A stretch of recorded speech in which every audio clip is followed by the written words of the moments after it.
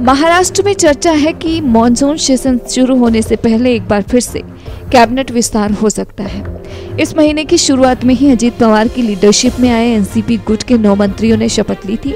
इसके बाद अब एक नाथ शिंदे और भाजपा गुट के भी कुछ नेताओं को मंत्री पद दिया जा सकता है।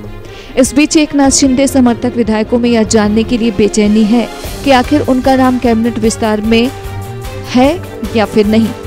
यही नहीं कई विधायक तो पाला बदलने के मोड में भी हैं। सूत्रों का कहना है कि कुछ विधायक उद्धव ठाकरे सेना के भी संपर्क में हैं और यदि मंत्री पद नहीं मिला तो फिर उनके साथ जाने पर विचार कर सकते हैं। यही नहीं एनसीपी के विधायकों में भी काफ़ी बेचैनी है। उन्हें इस बात की चिंता है कि आखिर कौन से विभाग उनको मिल पाएँगे। शपथ लिए एक सप्ताह से ज़्यादा हो गया है, लेकिन अब तक विभागों का आवंटन नहीं हो पाया है। पिछले दिनों अजीत पवार ने वित्त मंत्रालय, ऊर्जा मंत्रालय समेत कई अहम विभाग मांगे थे, लेकिन शिंदे गुट को इस पर आपत्ति थी। ऐसे में इन विभागों का बंटवारा नहीं हो सका। अब खबर है कि दिल्ली में भाजपा का हाईकमान इसे लेकर मंथन कर रहा है।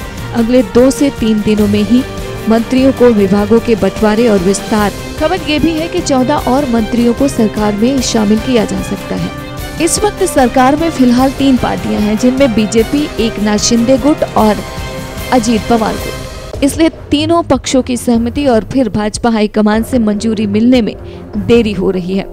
चर्चा है कि भाजपा हाईकमान अपनी ही कुछ मंत्रियों और शिंदे गुट के कई नेताओं से के कामकाज से खुश नहीं। ऐसे में इन लोगों से इस्तीफे लिए जा सकते हैं। फिर इसकी जगह पर नए मंत्री लाए जा सकते हैं और कुछ बढ़ाए भी जा सकते हैं। इस बीच एक शिंदे गुट में बेचैनी का आलम है। बीते एक साल एक नाथ शिंदे के साथ आए 40 विधायकों में से ज़्यादातर को अब तक मंत्री बनने का इंतज़ार है। कई तो ऐसे हैं जो उद्धव ठाकरे के राज में भी मंत्री थे। ऐसे में ये लोग मंत्री बनना अपना हक मानते हैं और भाव ना मिलने से नाराज़ चल रहे हैं। कई नेता उद्धव ठाकरे के भी संपर्क में हैं, जिससे एक नाथ शिंदे गुट पर दबाव बढ़ रहा है।